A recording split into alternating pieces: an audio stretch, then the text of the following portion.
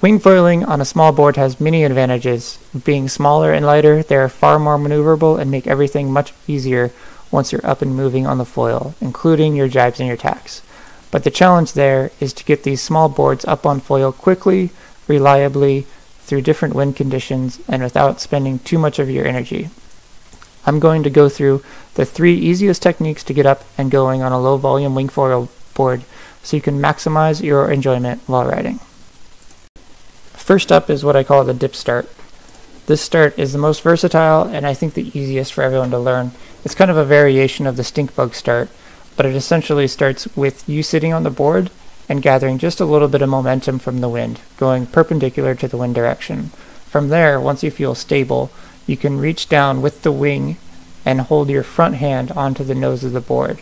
That way you can switch up to your knees and then quickly bring the sail back up and into the wind. You want to bring it first with your front hand and then have your back hand follow so your wing stays in the air without getting caught on the water too much. Starting in this manner enables you to be in a comfortable, relaxed position while sitting on the board and only quickly transition from that position to your kneeling position.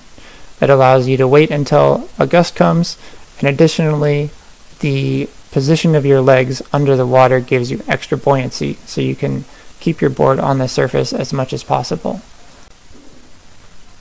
I'll use this start most often and find it's much less energy intensive than a sink start where you're waiting for your board to rise to the surface. Starting yourself in a sitting position, your board naturally stays close to the surface and you can quickly recover it back to the surface and get up on foil as fast as possible. Again, from the front angle, start sitting with the wing slightly powered in order to move perpendicular to the wind at a slow pace. I recommend an overhand grip for easiest manipulation of the board, but in this case I'm using underhand to hold onto the camera too.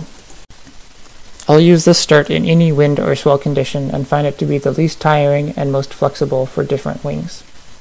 In really strong conditions, you can firmly grip the nose of the board to position your knees, and in really light conditions, you can make the dip as fast as possible to keep your board tracking on the surface throughout the maneuver and keep your speed up as much as possible. The second method, a hop start, is harder and for higher winds.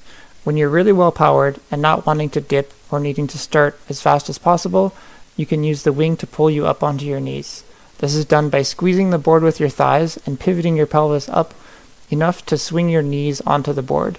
Without a wetsuit, this might be a bit painful, but in a pinch, wearing a wetsuit as padding, it's a really fast way to get up and going in strong or gusty winds. The last method is quite easy but relies on your wing having a draft neutral middle handle that lets you control the wing under a small amount of power with only one hand. Much like the dip method, you use your front hand to hold the board while you position your knees on the deck while your back hand controls the wing.